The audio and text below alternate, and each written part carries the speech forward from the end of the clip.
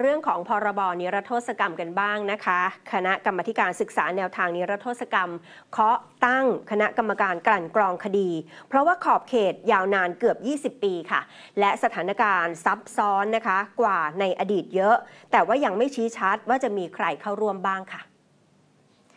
ที่รัฐสภาค่ะศาสตราจารย์ วุฒิสารตันชัย รองประธานกรรมธิการนิรโทษกรรม ให้สัมภาษณ์หลังการประชุมคณะกรรมการวิสามันศึกษาแนวทางการตราพระราชบัญญัตินิรโทษกรรม โดยบอกว่าที่ประชุมได้รับทราบและเห็นชอบ 7 ประเด็น ที่คณะอนุกรรมธิการศึกษา และจำแนกการกระทำเพื่อประกอบการพิจารณาแนวทาง การตราพรบนิรโทษกรรมเสนอมา ศาสตราจารย์วุฒิสารกล่าวว่า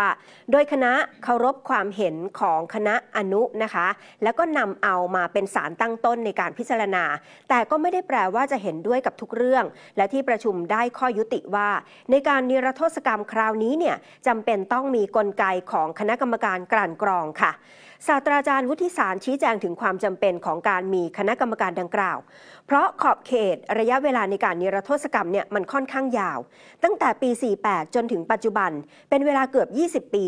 ดังนั้นเหตุการณ์ต่างๆ ที่เกิดขึ้นรวมถึงการกระทำของบุคคล ที่มีแรงจูงใจทางการเมือง และเข้าข่ายการได้รับการนิรโทษกรรม มันมีความหลากหลาย ทั้งในอดีตเนี่ยฐานความผิดที่จะนิรโทษกรรมก็เพิ่มมากขึ้น เพราะเหตุการณ์ต่างๆ มีความซับซ้อนมากกว่าในอดีต ผู้ที่เข้าข่ายอาจจะมีหลายความผิดและหลายคดี ซึ่งมีฐานมาจากกฎหมายหลายประเภท และในช่วงโควิดเนี่ยก็มีกฎหมายพิเศษเข้ามาอีก ด้วยเหตุนี้แหละค่ะ การที่จะนิรโทษกรรมไปเลย โดยไม่มีการกลั่นกรอง อาจจะทำให้ความยุติธรรมไม่สมบูรณ์ จึงมีคณะกรรมการเข้ามาทำหน้าที่ เข้ามาช่วยพิจารณาข้อเท็จจริง และรับคำอุทธรณ์ของผู้ที่ไม่ได้เข้าข่าย รับการนิรโทษกรรมด้วย ส่วนองค์ประกอบและอำนาจหน้าที่ของคณะกรรมการดังกล่าว ที่ประชุมยังไม่ได้พิจารณานะคะ ซึ่งคิดว่าเรื่ององค์ประกอบน่าจะตามมาภายหลัง เมื่อบทบาทของคณะกรรมการมีความชัดเจนแล้ว แต่ทั้งหมดนี้ไม่ใช่หลักประกันว่า กฎหมายจะเห็นด้วยตามนี้ค่ะ ส่วนร่างพรบนิรโทษกรรม ฉบับประชาชนนะคะ ที่มีการเปิดรับฟังความเห็นผ่านเว็บไซต์ของรัฐสภา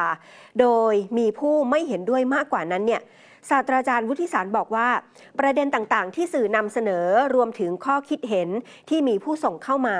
คณะกรรมการรับฟังทั้งหมด แต่หน้าที่สำคัญคือการให้คำตอบกับสภา ในการศึกษาแนวทางการออกพรบนิรโทษกรรมค่ะ